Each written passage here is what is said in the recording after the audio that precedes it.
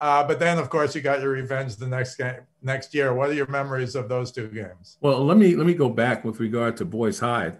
Mhm. Let me go back to the point we would scrimmage them um, in preseason, and uh, the first year it was in my sophomore year, and you know, Boys High had that reputation. You know, inner city guys that were tough. You know, you forget we're inner city guys too, to a great extent.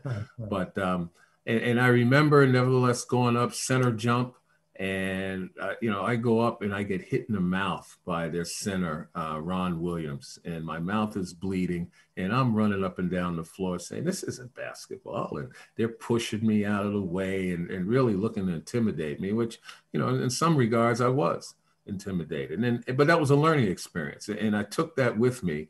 Uh, throughout that season. And during the summertime, we would go and we play in the Rucker tournament uh, you know, where you learn how to not only, you know, ex- exert your strength and, you know, your abilities, but you also learn not to back down. And so that following year, my junior year, we scrimmaged them again. And this time the center jump goes up. You know, Mel Davis is on the team, this guy, Ron Williams. And now I'm the one that dishes it out. And you know it was like amazing. I'm blocking shots. I'm just you know dominating them because of the learning experience.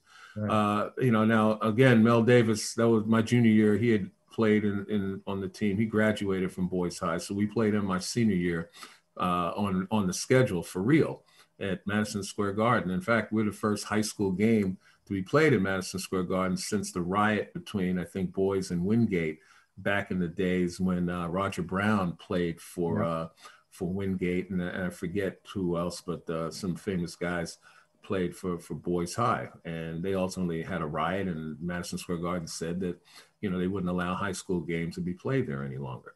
But we played in this game, and, and you're right. We started out very slowly. They came out like a house of fire.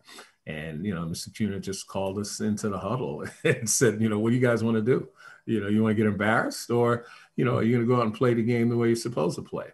And of course, we went out, and from that point on, I think we thoroughly dominated them. I think we won the game by about 12, 15 points. Yeah. Um, and and so you know that was that was something that, that boosted our uh, you know our confidence.